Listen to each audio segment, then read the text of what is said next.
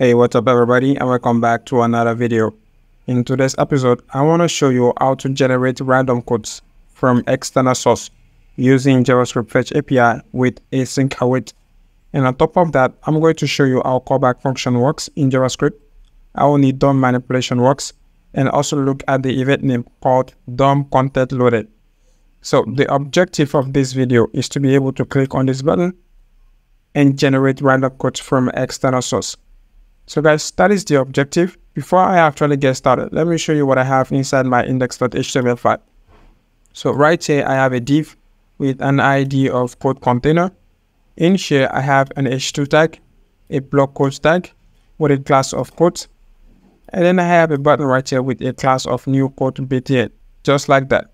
So back to my CSS file, I have already added some styles to the button and also added some styles to have a nice layout like this. So if I actually refresh my web page and click on the button, you can see that we are unable to generate new quote. That is to show you that we are going to start from scratch.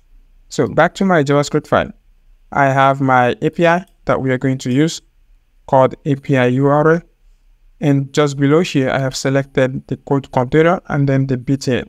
Now that everything is in place, we are going to start by actually fetching the data from external source using this API.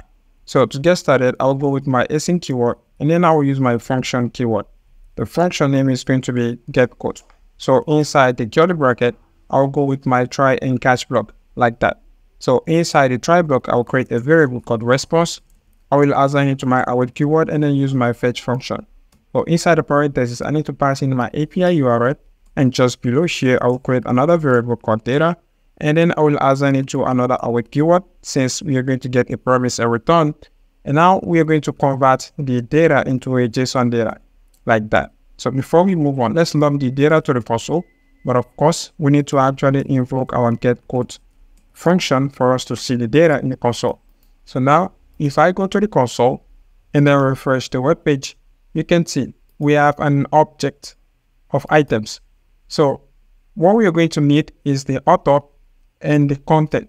So those are the two things that we're going to display on our web page.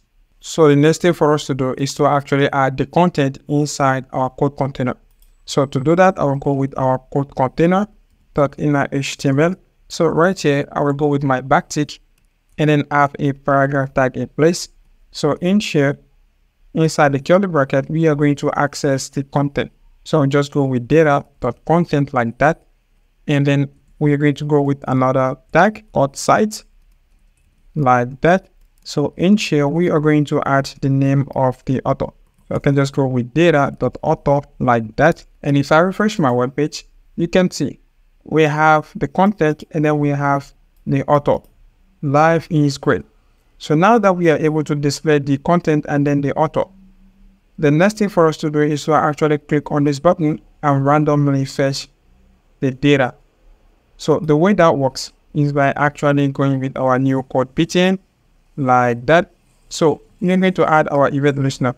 The event name is going to be click. So I'll just add our click event like that. And then in here, we are going to pass in the name of our function, get quote. If I refresh my web page and click on this button, you can see that we are able to randomly fetch the data. Life is great. But the next thing we want to do is to be able to fetch the data as soon as the page loads. So for that, we are not going to invoke our get quote function right here. But what we're going to do is to actually go with another document dot add event listener so in here, we are going to pass in our DOM content loaded, which is the event name. So basically, with DOM content loaded, we are going to fetch the data as soon as the page loads. So as the second parameter, we are going to pass in our get quote function. As soon as I refresh the web page, you can see we are able to generate a new quote. And if I click, we are going to be able to fetch another quote and then another quote. By clicking on this button, we are fetching random quotes. So guys, in this video, we've seen how DOM content loaded works, how fetch API works, how to use our callback function, and how to manipulate the DOM. So with that alone, I hope that you've learned something from this video. If you do, make sure that you always practice Make sure that you stay consistent. Make sure that you keep grinding and never miss a day. So guys, with that being said, I'll see you in our next tutorial.